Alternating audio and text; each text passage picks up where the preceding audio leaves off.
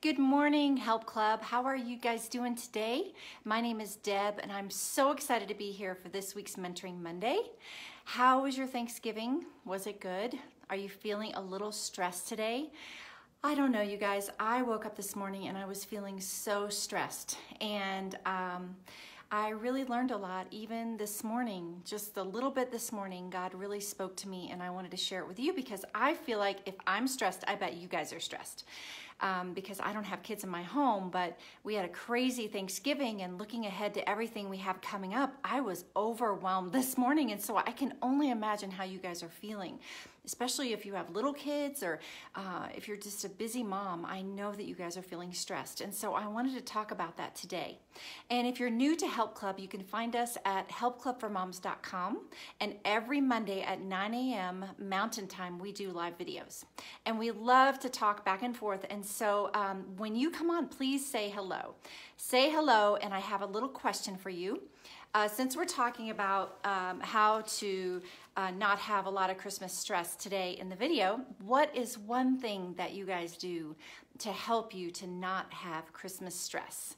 What is one thing that helps you to not have so much Christmas stress? So let's share our ideas. And if I was sharing my idea, I'm going to share my big idea today as the Mentoring Monday, but another thing that I really feel helps me to uh, to not be stressed out is to make lists. And uh, if you're not a list maker, it might be new to you, but it really does help. If you are a list maker, you've probably already made 10 lists already for Christmas. Um, but I haven't made all of my lists, but I began to sit and think about like what I want to buy for people, um, what I'm going to serve on Christmas, um, how what we're going to be doing, and my budget for Christmas. And so, what do you guys do? But first, say hello. I'm going to say hello to everybody. Um, hi, Kendra and Janelle. Oh, Janelle prays. Yes, that is the best thing to do, Janelle. Thank you for sharing that. That is the best thing. Okay, so Yvonne, good morning, and Crystal, and Clarissa, and Michelle. I'm so glad to see you guys today. Okay, so what is the number one thing that you do that helps you? So Clarissa, says um, we shop early and do Advent. That is an excellent idea. That is such a good idea. Okay, thank you for sharing that. Um, I love Advent too. We have a great um, study coming up in the next, starting next week, which uh, helps us at Christmas and Advent time in our book, in our in our book right now. But um, I want to open us up in prayer, and you guys can keep uh, leaving your comments about what you do to not have as much Christmas stress. I mean, we're all to have stress. That's the reality is we're to have stress, but how can we minimize our stress? How can we think logically about our Christmas to where um, we're not to have as much stress? But I want to pray and open us up in prayer. Uh, God, I thank you so much that you are with us. Thank you, Lord, um, that you uh, never leave us. And God, I pray that every single person watching this video today would feel your love. They would uh, know, they would be able to grasp, just like the word says, how wide and long and high and deep is the love of Christ. And to know this love that surpasses knowledge, that they'd be able to feel the measure, the full measure of God. And uh, God, that's just amazing to even think about being able to know and to have that full measure. And so we love you. And um, Lord, you know that I've had a stressful morning already, and I bet a lot of my friends who are going to be tuning in today have had one as well. And so, God, help us to encourage each other through this video. Come, Holy Spirit, speak through me. Help my mind to be clear. Help me not to be stressed. Help me not to worry about what I'm going to say. Just say what you want these moms to hear and dads, uh, whoever join in today. We commit this time to you in Jesus' name. Okay, so I'll, hi Jen, good to see you. Um, if you guys could click share, that would be so helpful. You have no idea. Um, we, uh, you guys, most of you guys know this, that we're an all volunteer ministry. We're a nonprofit but the Help Club for Moms is an all volunteer ministry. And so we don't have a lot of money. We just, um, my husband and I pay for a lot of expenses with Help Club, but we take donations. And anytime you can share our stuff or leave a comment on our on any of our posts, Facebook has gotten really challenging lately to where um, it's really hard to get your posts even to our followers to see for our followers to see our posts. If you don't click like our page and click see first, you may not see our, our posts because we don't spend a lot of money. We spend a dollar a post, uh, and that's all we have. That's our budget right now. And so if you can click share, that would help us so much. Anytime that you could click share, that would be awesome. Okay, so let's see. Uh, Clarissa said, I peeked ahead and I'm so excited about the Christmas countdown. Yes, okay. Clarissa, thank you because I have this to show today. If you have our book, uh, The Wise Woman um, Abides. That's our book that we're going through right now at the Help Club, and it's not too late to get that book. We're going to be going all the way through Christmas and through New Year's, and the studies in the Wise Woman Abides book are absolutely fantastic, and they will help you to go through Christmas and to be mindful of Jesus, okay? And so in the book, we have these uh, print, well, I have them right here, but I'm going to put them for you guys. Um, it's called the 20 Days of Christmas Cheer. It's, uh, it's like a countdown, and it's different ideas that we have. And I'm going to put these printables in the comments for the live video. So you may not have the book right now, but you can still uh, print this out. So I'm going to do that whenever we get done today. So be sure to check back uh, in the comment section for the 20 days of Christmas cheer. But it's like a, it's a countdown. And so like, let's see here. It's just fun things that you can do with your kids. So day one is have a birthday party for Jesus buy a little cake or treat and celebrate our, oh wait, that's backwards. Hold on, sorry, I'm sorry. We're, we, I'm not exactly the most detailed person. So, um, so it's, it's 20 days. So I guess we're starting on December 5th. That's right. Okay, you can start whenever you want to. But let's look at day 20. Day 20 is make a Christmas countdown paper chain out of red and green construction paper with 20 circles. Hang it somewhere for all to see in your home. Okay, I love that idea. And for you, look up these verses. Isaiah 7, 14, John 1, 14, Galatians 4, 4 through 5, Isaiah 9, 6, uh, 1 John 5, 11, and choose your favorite one and work on memorizing it this Christmas. And then day 19, read the story of Jesus' birth to your kids from Luke 2 1 through 21. Have your kids draw pictures of their favorite parts of the story and then ask them to tell you about all the aspects of the story as you write on the illustration. Anyway, it's just really sweet. So I'm going to put these in the comments, but it starts December 5th. You can start now if you want to, but it goes all the way through till Christmas. But it's just a little way that you can be practical with your kids and helping everyone to focus on Jesus because I, I, want, to, I want you guys to think about something for me just for a minute, let's all think about this thought. And I, I wrote a little Bible study in our new, in this book, uh, towards Christmas, and it's called Whose Birthday Are We Celebrating? And you guys, whose birthday are we celebrating? We are celebrating Jesus' birthday. And so you know, I think that during the holiday season, if you can remember that we are celebrating Jesus's birthday. And if you're like me, whenever my kids were growing up in my home and they would have a birthday, I'd think, okay, what would the birthday boy or birthday girl like the most for their birthday? What would make their party more special, their celebration? And I would do those things that made them feel loved. And you guys, it's Jesus's birthday. And so what are the things that would make Jesus feel most loved? And I think the biggie, and we're going to talk about this today, is loving like Jesus. But those are things that you can be thinking about. But like the Christmas countdown helps you to keep your kids focused and yourself focused on Jesus to where you can celebrate him all month long. You know, from now until the end of Christmas, even though you're busy, you can still be mindful of him. Okay, so I just, I'm gonna, that's what the Christmas countdown is all about. It's so good. Okay, so today we're talking about Christmas stress. And so when I woke up this morning, I I was really stressed, you guys. I drove, um, when did I drive? I drove, uh, I can't even remember what my life's like. So a week ago on Sunday, the Sunday before Thanksgiving, we drove to Illinois to go be with my husband's family. We had a great time. Then on Friday, Black Friday, we drove back home.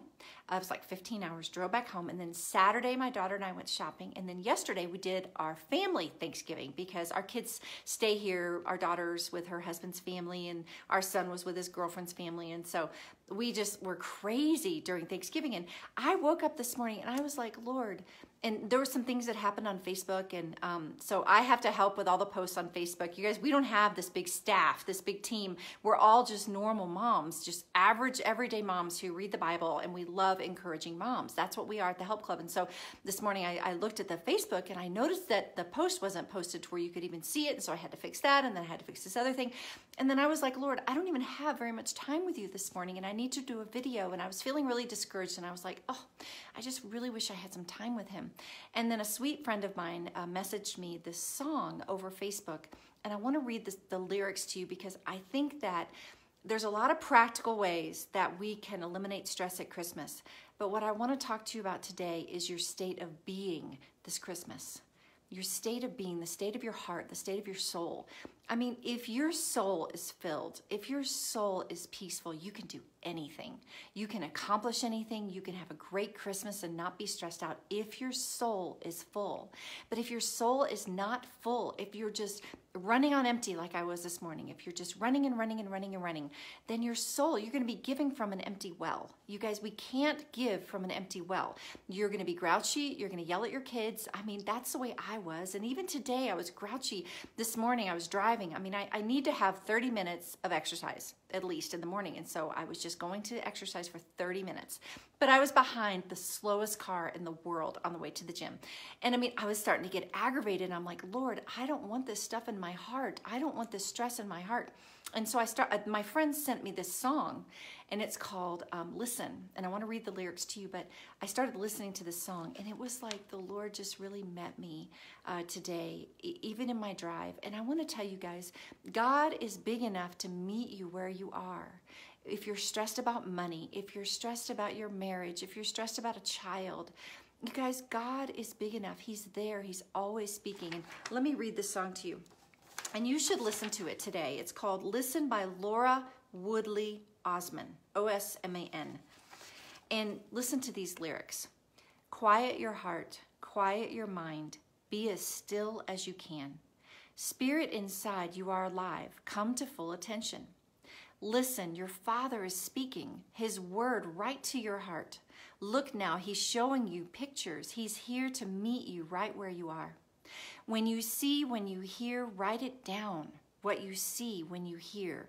Go slowly, go in thanks, go in praise, go in love, go in grace. Ask for wisdom and be filled with faith. The kingdom is heaven of heaven is at hand. The kingdom is within your reach. The kingdom will come on earth as in heaven when it's the king. Is that what you seek?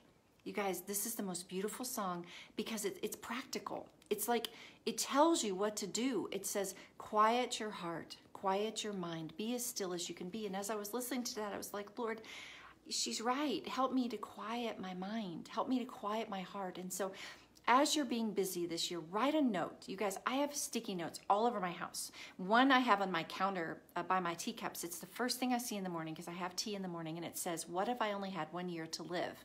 I always want to keep that in front of me. What if I only had one year to live? But write a note. Quiet your heart. Deb, quiet your heart, Rachel, quiet your heart, Clarissa. You know, write yourself a note and put it where you'll see it. And then I love what she says write it down. When you see something that God is showing you, when you hear it, write it down. Ask for wisdom and be filled with faith. And just know that He's speaking to you. This song says, Listen, your Father is speaking. And I think so much of the time, I mean, I feel this way sometimes that I have to have all my ducks in a row to do good, to have a good day. But that's not the truth. We don't have to have all of our ducks in a row. And, and for me this morning, I didn't even get to spend as much time as I as I like to in the Word before doing this video. And I had like five minutes, but I listened to that song over and over, and I was just praying and I was saying, Lord, you know that I'm your daughter. You know that um, that that that you that you called me to do these videos. You know, I know this. You told me to do these videos. You called me to do Help Club. I need you. And you guys, with your Christmas, with your children, whatever you're doing, you know, we've been getting a lot of response from step families, um, stepmoms that are struggling with their stepkids. God called you to be a stepmom to those stepkids. You guys, God has called you in your in your place where you are in your home or at your job or with your children. He's called you there and he's going to help you. I was, I was thinking about the scripture and I wanted to read it to you today. Grab your Bible. It is, oh, Mary Jo, I'm so glad to hear that. It, it was a timely word for me today. That God will meet you. He's always there. He never leaves you. You don't have to check off all your ducks in a row. You, you don't have to have everything perfect. Yes, we should try on most days to have, you know, I like to spend I mean, whenever I was a young mom, I spent 15 minutes a day reading the Bible and then it, it got a little longer. Now I'm regular to 30 minutes a day. I read the Bible and I write in my journal, but I pray throughout the day. You know, I pray with friends, like the Help Club for Moms talks about praying with a prayer partner. We believe in it. And I'm praying that you guys pray with a prayer partner too, because it will really change your life if you pray with a friend. That's another thing. Call a friend once a week. Say, I want to call you every week during Christmas, especially to pray for our families to have a great Christmas, to pray for God to help us. And so let me read this to you. I want you to listen to this and I love this. This is King David. And you guys, King David was busy. Okay, he was busy. For him to write this psalm, it's Psalm 131. He was a busy man. He had enemies around him. He he had a kingdom to run. He had so much going on. But do you know what he said? King David came to the Lord and he said, "My heart is not proud, O Lord. My eyes are not haughty. I do not concern myself with great matters or things too wonderful for me." Can you imagine King David saying that? I do not concern myself with great matters or things too wonderful for me. King David had a lot of things to think about, but he just said, but listen to this, but I have stilled and quieted my soul, my soul like a weaned child with its mother. Like a weaned child is my soul within me. O Israel, put your hope in the Lord both now and forevermore. David was a king, but he knew for his kingdom and all the people that were following him that they need to put their hope in the Lord. And you need to put your hope in the Lord. And your children need to put their hope in the Lord. Your husband needs to put his hope in the Lord. And I love that, but I have stilled and quieted my soul like a weaned child with its mother. Like a weaned child is my soul within me. And you guys, sometimes our souls can be restless, but God is saying to calm them like a weaned child. Like a weaned child, like I, I love my little friends that have nursing babies because their babies, when they hop in their lap, they're like, ah, ah, ah, ah, ah, and then they start crying until the mom gets them latched on. And but if you see a weaned child in a mother's lap, he's resting, he's sitting, he's calm. So much of the time we can feel like that nursing baby. We're just desperate and desperate and desperate. But God wants us to still and quiet our soul and ask Him to help you to still and quiet your soul like a weaned child. And you know what else I was going to tell you? For, right, look this up. First Samuel 30, verse 6. You know, King David, this is King David again. First Samuel 30, verse 6. And, you know, there was a lot going on in chapter 30. I don't have time to read the whole chapter but it was about the Amalekites, and he just had a lot going on, and a lot of people coming against him, and his wives had been captured, and I mean, it was a very stressful time. He was greatly, so if you look at 1 Samuel 30, verse 6, starting in verse 6, David was greatly distressed because the men were talking of stoning him. Each one was bitter, and they were bitter because their wives were taken but but so it says each one of them was bitter in spirit because of his sons and daughters and their sons and daughters were taken. But look at what this look at what the word says. But david found strength in the lord his god. And you know some of the versions say but david encouraged himself in the lord.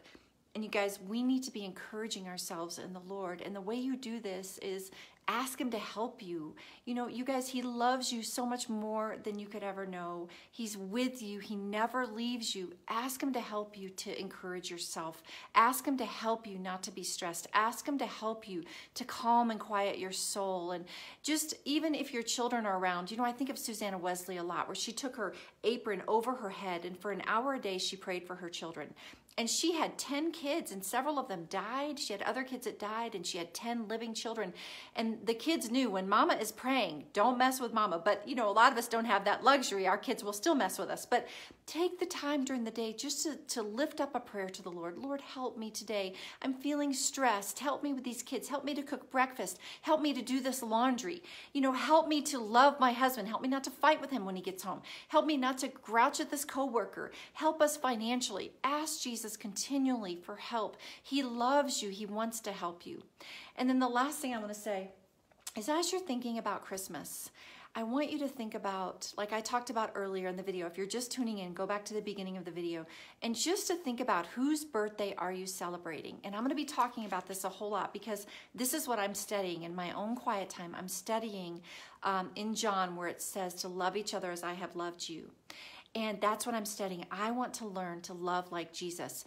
And so, as you're thinking about your Christmas, as you're thinking about the people in your life, you know, we can get really grouchy towards our moms or our mothers in law or, or, or our father in law, or we may have unforgiveness for a friend or for our husband, or we may not want to go somewhere that's far away. We may not want to drive and or have two Christmases in town or whatever you're doing. But I, I just want to invite you into think about your Christmas differently this year in John, go with me to John. Um, it's it's in John 15. I just love the book of John, you guys. I cannot get out of the book of John. And so as you're thinking about your Christmas, think about Jesus, okay? So John 15. Jesus was it was his last night with the disciples right? He, it was at the Last Supper, and he's he's telling them what's important, what's really really important to him. And you guys, he said this over and over, starting in John 14 and in John 15, and I'm pretty sure it started in uh, John 13. And he, yeah, and he yeah, it's right there in John 13.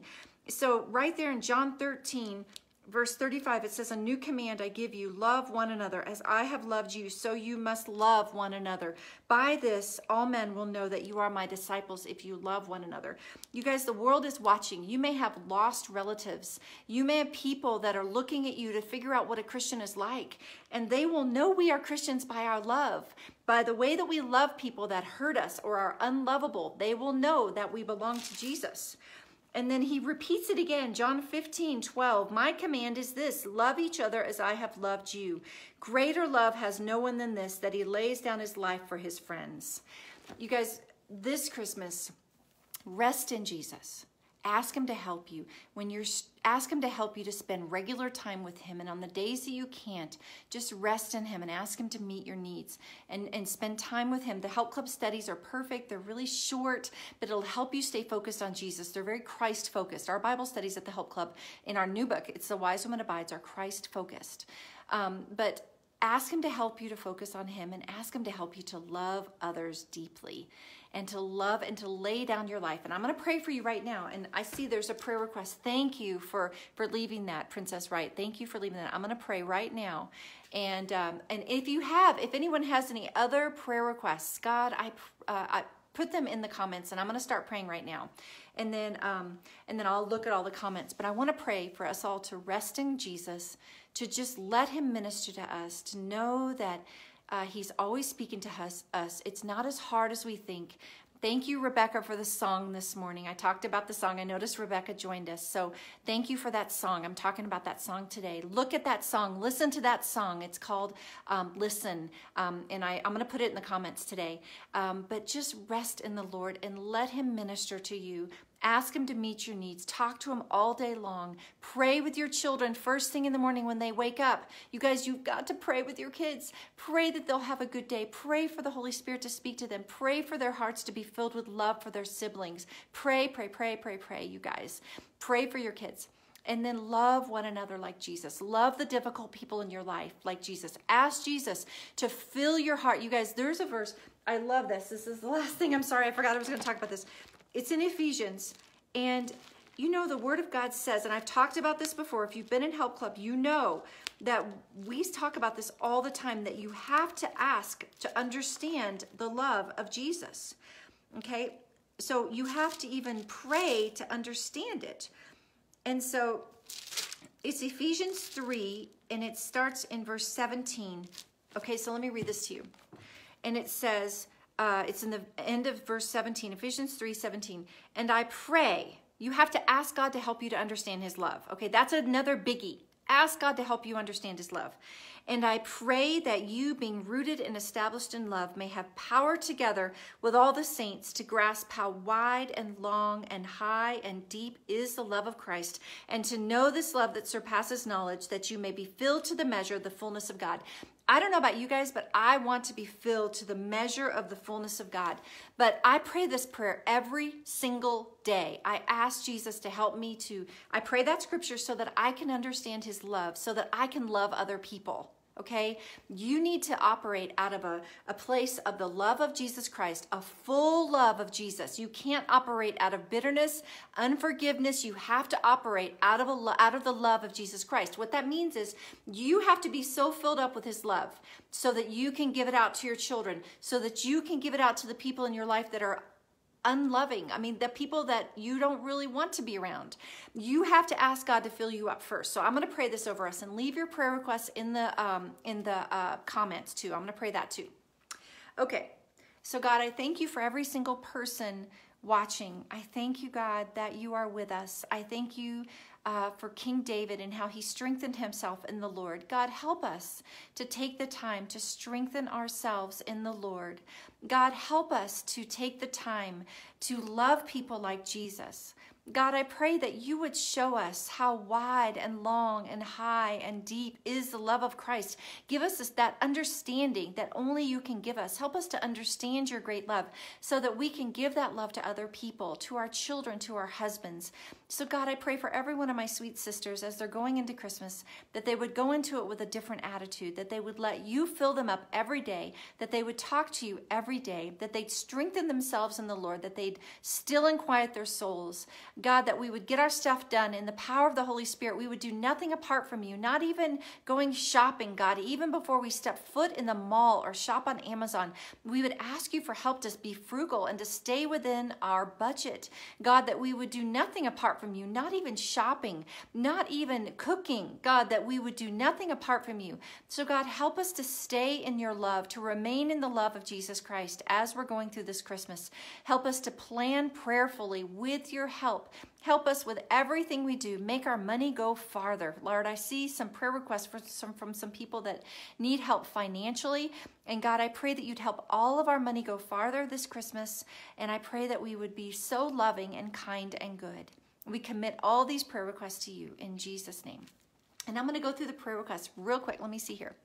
And if you left one, go ahead and uh, does anyone else? Okay, so Princess has one for Marcus, Montreal, Brittany, Charlie, Braden, Bryson, Caden, uh, divine protection. I agree. in favor and breakthrough, health and money, financial help. And uh, for Anna Marie, prayers for her home and her marriage. I pray a blessing over Anna Marie's home and her marriage, that you would strengthen her marriage, Jesus. And in her home, that she would feel your, your peace and I do pray for a new bedroom. I do pray for that, Jesus, for I love that Princess is praying for everything. God, we want to pray for everything and come to you for everything.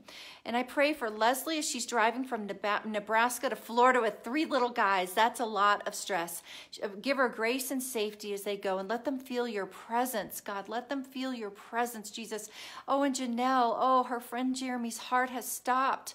Um, it's in the hospital. They have five kids. God, I ask for your intervention right now. I ask for your hand to be on Jeremy right now, God, that you would let his heart beat. And when it comes back to beating, let it beat for you. Do a miracle. Let the doctors be astounded that you healed him. And God, let this bring his family closer together. In Jesus' name. Thank you God for guys for joining me. Please share the video if you haven't shared it. It really helps us a lot. And do uh, go to helpclubformoms.com. All of our Bible studies are there, or you can buy our books on Amazon. We we use every bit of that money. We get almost five dollars per book, and we use it towards the ministry. So thank you guys so much for everything. And uh, oh, and Roxanne, I pray for Roxanne to be able to sell her truck. Jesus, help them in their finances. God, do a miracle in their finances in Jesus' name. Thank you guys. I'll see you next week. Bye.